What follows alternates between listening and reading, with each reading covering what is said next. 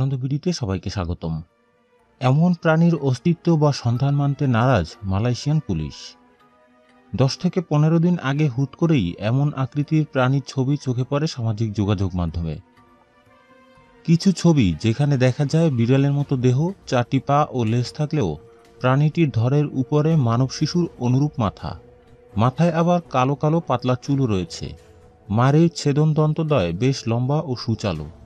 একেবারে মুখ ছাড়িয়ে থুতুনি পর্যন্ত। এমন একটি ছবি মানুষকে আকৃষ্ট করবে, কৌতূহলী করবে, এটিই স্বাভাবিক।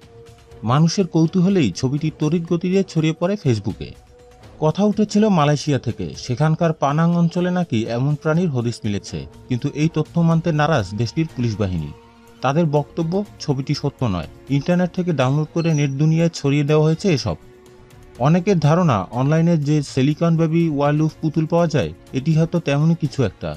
তবে পাংশাবাসীদের অনেকের স্বীকারোক্তি এলাকায় কোনো এক অদ্ভুত প্রাণীর সন্ধান মিলেছিল। ইতিপূর্বেও মালয়েশিয়ায় এক গ্রামে মানবরূপী ছাগলের জন্ম নিয়ে হুলস্থুল পড়ে গিয়েছিল। সেটি দেখতেও মানুষের ঢল নেমেছিল। এবারও এই মানবরূপী বিড়াল নিয়ে তাদের কৌতূহল তুঙ্গে।